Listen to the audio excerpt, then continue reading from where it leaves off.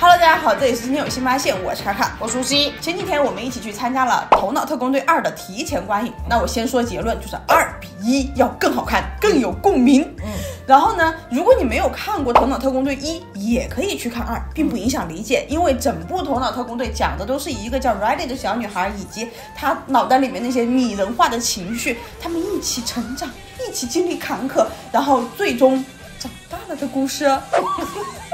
但是要跟大家先说明的是，这期视频呢并不构成我们对《头脑特工队二》的观影推荐，因为说实话，一二两部我们看完之后，我们俩共同的一个观点呢，就是觉得在剧情上确实有些简单了。但是这部电影又不简单的地方是，因为它的主题是个人成长，嗯，然后它也确实抓准了个人成长过程当中那些很细微又很幽深的东西，确实能让我们在看完电影之后，我们俩自发的就会形成讨论，嗯，所以呢，今天就是想把这些跟个人成长这个永恒的主。提高度相关的这些个人的讨论，呃，分享给大家。嗯，对，其实我现在想起来，我共鸣最深的竟然是那些对于黑历史的处理。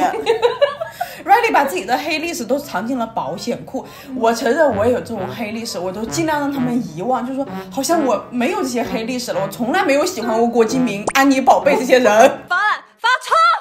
发发车。后来我又觉得，其实我应该接受这样的自己，就是因为我青春期的时候看过他们，我喜欢过他们那些文字，才能形成现在善变的我。谁会鼓励我往前走？我自己。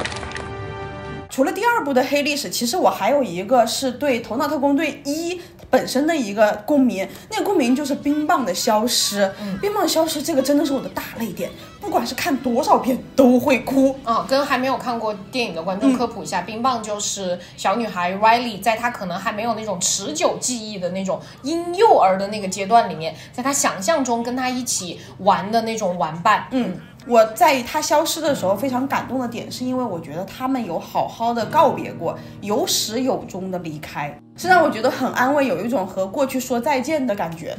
冰棒也是我的一个哭点，是，而且我认为也是我对于《头脑特工队一》的那个我认可的一大亮点。我觉得首先这个设计很神奇，嗯，我觉得我的童年，我的婴幼儿时期一定也有一个冰棒，只是我现在记不住它了。你也记不住吧？我没有办法。再想起来，我曾经假想过我脑海中的小伙伴，我跟他玩过什么那种，嗯，没有办法。但是我觉得我肯定也有一个，所以当看到就是那种 little tiny Riley 跟那个冰棒一起玩的时候，我会觉得我也拥有过那种幸福和快乐。这是一个出人意料的，会让你深深记住的部分。然后呢，另外一个我的哭点呢，当然也是在冰棒消失的时候，但我哭的点，我哭的原因跟卡哥很不一样，完全不一样吧？对。就是我在那个时刻，在冰棒渐渐的隐身，从那个有形状的状态变成透明的隐身的那种状态，那个过程里面，我感受到了一种顶级的自由。因为那个时候，冰棒还说了一句台词，他说：“Take her to the moon for me, OK？” 我就在那句词里面感受到，当你的脑子还没有被这个社会的。一切的信息污染的时候，你相信你是一个骑着一辆破车就能够上月球的那种时刻，就是你的那个时候的你，你的想象力，你的感受，那个时候你也是真心实意的觉得冰棒是存在的，也是真心实意的觉得你和冰棒是可以去到月球的，这种想象力是没有束缚的，不会有人跑到你面前来告诉你，你还差什么零件，差什么证书，差什么知识，你才能够跟冰棒一起去月球。这就是顶级的自由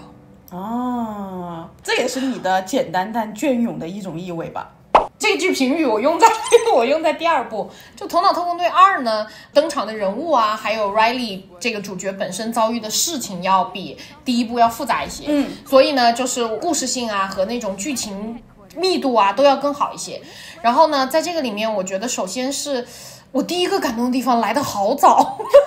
跟很多人都不一样，就是不涉及剧透啊，就是第一次那个 Riley 的自我从那个意识之海长出来的时候，名为快乐的 Joy 那个情绪就去波动每一份快乐的记忆的时候，那个画面啊，就非常的打动我。我不知道是因为我最近太丧了还是怎么的，就是。嗯，我看到那个画面的时候，我我会不由自主的去检讨我自己，就是去想说，哎呦天哪，你看这种时候了，我都还在检讨我自己，我真受不了。就是就是我会不由自主的去想说，我最近是不是忘记了太多我成长当中的那些快乐的瞬间，聚焦了太多在我的过去的时光里面那些呃其他的回忆。你知道，就是那片意识之海是如此的晶莹剔透，如此的纯净安宁，就那种氛围，